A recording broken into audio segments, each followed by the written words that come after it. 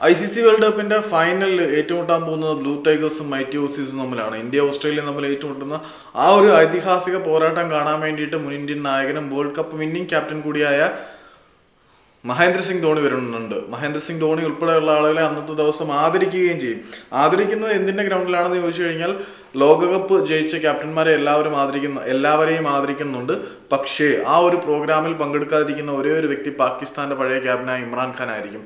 ഇമ്രാൻഖാൻ എന്തുകൊണ്ട് പങ്കെടുക്കുന്നില്ല എന്ന് ചോദിച്ചു കഴിഞ്ഞാൽ അദ്ദേഹം ഇപ്പോൾ ജയിലിലാണ്.